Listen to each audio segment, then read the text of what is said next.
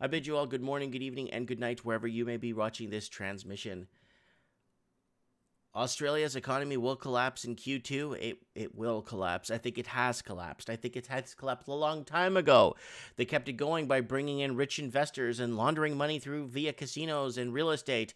They've been keeping this going and running a lot of bank scams. Lots of banks not basically policing their own kind and you, we saw what happened with Westpac and all the other big banks there. Absolute disaster with the with what's what's, what's been up, unfolding and then they had the the um the royal commission come in and started looking at things and seeing they barely scratched the surface the amount of fraud that was made. And now they're announcing Australia's economy will collapse in Q2 this is from the financial review Let's look at the markets real quick here. The All Ords down 532 from last night. It's morning here in the West. Uh, five. Uh, it's sitting at 5,000 uh, 58. It's going to keep going, people. The ASX 200 down to 5,000. We're going to see those in the 4,000 territory this week.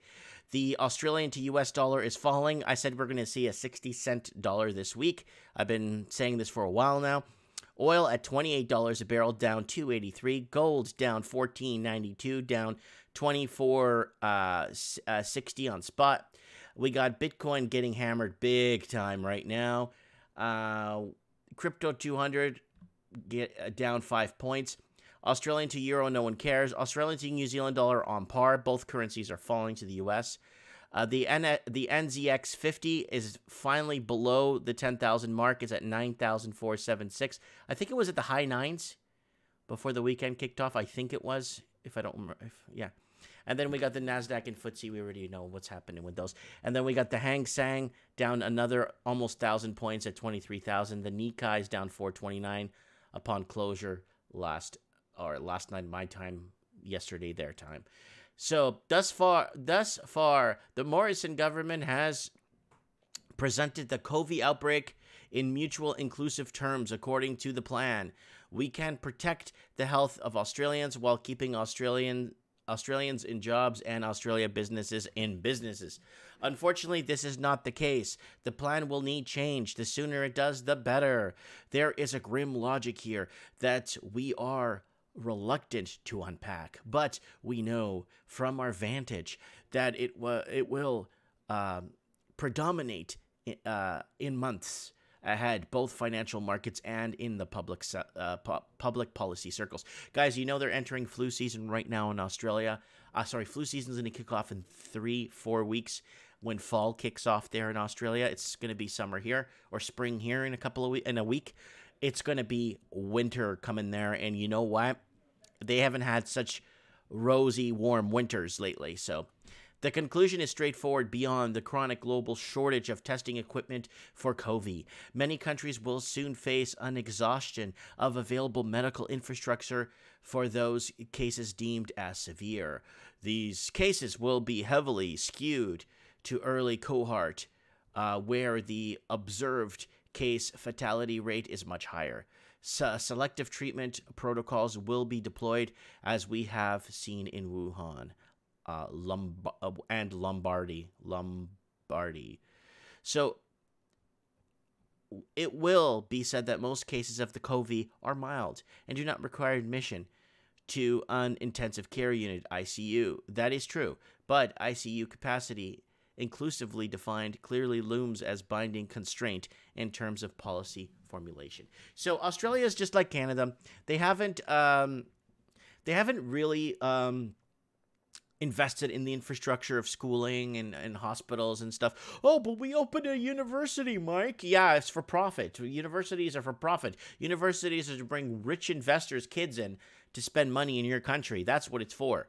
So here it is, guys. Um, the ICU capacity by by country. So that's beds per 100,000 uh, for 100 for beds per 100,000 people. The U.S. I guess sits in front with 33.6. Uh, That's 350 million population. That's actually not bad. Germany right behind. Belgium, Korea, Canada. Canada's a 13.5 and uh, Italy is 11.88, France 9.3, Australia 8.9. So Uh, Australia is in between France and Netherlands, so could it be better? Sure. With the amount with the amount of um, sell-offs, eh, with the amount of portions of their water, their mines, with the amount of, con- portions of the country that's been sold off to foreign investing, they should have at least accumulated some sort of wealth in the background, at least. So let's go here. Stocks tumble, treasuries rally on virus worries, market uh, wrap up. So this from today's date. Volatility tightened its grip in global financial markets with U.S. stocks plunging as much as 11%, treasuries rallying, and Brent crude sinking below $30 a barrel as economic activity around the world slows. Uh, hyper turbulent financial markets continued their wild ride as investors tried to assess the likely extent of the economic damage after countries around the world moved to combat the virus, spread by virtually shutting down all social activity. The Dow Jones Industrial Average loss from its record uh, reached 30 points. And uh, right here, the Fed. Where is it? The Fed and other central banks have dramatically stepped in efforts to stabilize capital markets and liquidity. Just throw the country in further debt. That's all it's going to do. Uh, yet, the moves have been so far failed to boost sentiment or improve the rapidly deteriorating global economic outlook. An International Monetary Fund pledge to mobilize its 1 trillion lending capacity also had little impact in the markets. The yen rebounded on Friday plunge after Fed and five counterparts said they would deploy foreign exchange swap lines. Australian equities fell almost 10%, the most since 1992. Wow, and I think the next fall would be if the next further fall would be 1981 or 82 if I'm if I'm not mistaken in Australia.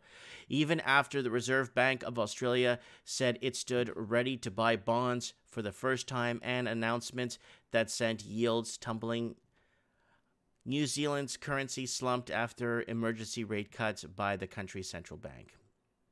Again, New Zealand's same thing. Meanwhile, China reported on Monday that output and retail sales tumbled in the past two months. You don't say. And they're trying to say that everything in China is good now to come back. Yeah. Uh, how will COVID affect the Australian real estate market and the house prices? Guys, don't forget to join us Wednesday nights for Trends in the Housing Market, where we talk economy, real estate, job losses, unemployment.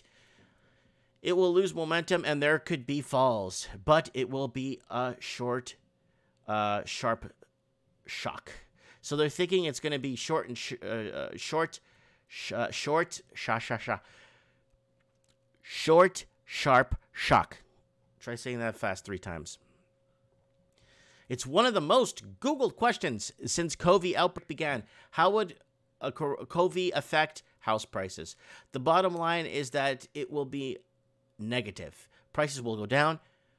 People up until now have been talking about the property market developing a bit of a, a momentum with the interest rate cuts we had last year and easing of credit conditions. So they cut back on the stress testing, they cut back on everything. They had three rate cuts in Australia just to keep more people back on the housing market. And then people like 30 years ago or 50 years ago would look at this transmission from 50 years ago, watching this into the future. So let's take a glance into the future.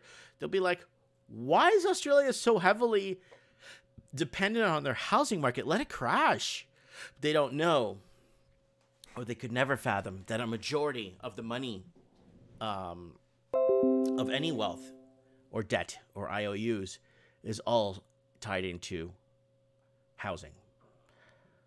They're like, well, I worked in a mine for 30 years in Australia back in the 30s and 40s and 50s and blah, blah, blah. And I made things work. It's like, no, things have changed so much in a way where the, the workers aren't or the, the the infrastructure the infrastructure supporters aren't getting their dues or aren't getting paid their dues. They're paying 45 bucks for a pack of smokes.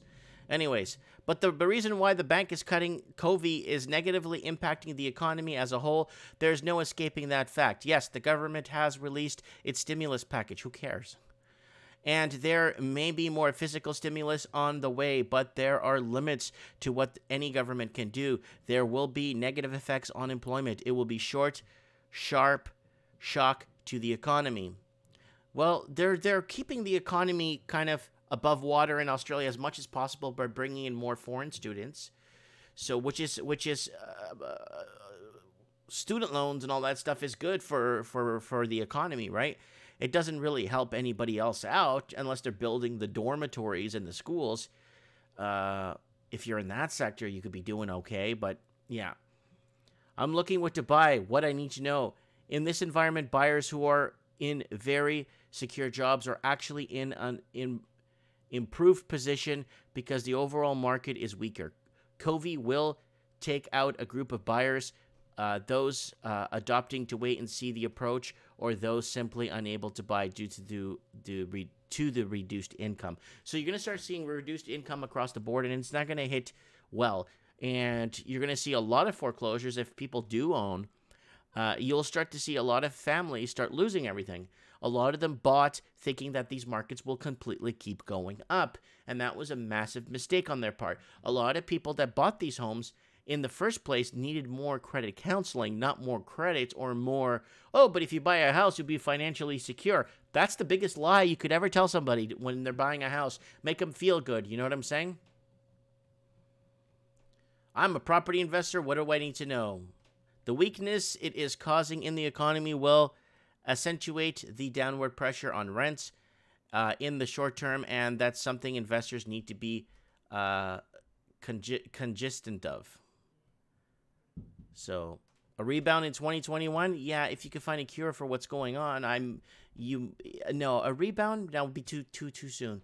You'll probably see a rebound in 2026, starting to properly uh, take on 2024. 2024, you'll start to see a proper, unless they raise interest rates to 8% overnight. If they did what Ronald Reagan did, raise in, uh, interest rates to 8%, and then boom, you start to see everything pretty much rebound overnight. But I don't think Australia would do that. Uh, Qantas, uh, Jetstar, perm, uh, permit ca- cancellations of all bookings to 30 the 31st of May. So here it is. Qantas and, uh, and Jetstar have introduced greater flexibility for customers wishing to change travel plans. Not the Filipino Airlines. They don't let you do nothing. You got to pay like $600 per person to to rebook or to uh, re, re, rebook your tickets. Following increased travel restrictions being implemented by the virus governments around the world due to the evolving COVID situation. So you're going to see a lot of airlines go bankrupt. But no, you won't. Not in Canada. I don't know about other countries, but our government will bail out these airlines. Our government will bail out these airlines because they need these airlines to continue flying to bring bring in more wealthy investors. With a, with, you think they're bailing out the airlines so the locals could travel? The locals could barely. The locals are two hundred dollars away uh, from going bankrupt. How are they going to take a trip? I say let the like like if you know if I'm looking at this from a business perspective, let them crash. Let let these things go and solve them. Stop, stop. Um, hey, stop looking at uh, uh, bail-ins and stuff and and, and, and, and, and implosions and using other people's money to bail out uh, uh, airline companies that they're not going to use. You know what I'm saying? Uh, the, the companies that the locals don't even use because they can't afford to. It's my son.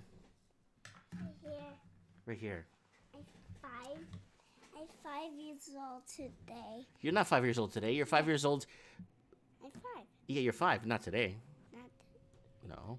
All right, and then we have here. Oh, look at me, Donton. Look. Nada. Mm-hmm. No food there. Woolworths has introduced a dedicated shopping hour. Okay. So we got this uh, toilet toilet paper wars in Australia are still going on. In a dramatic move, Coles is suspending online shopping to anyone other than the vulnerable and isolated. That's good.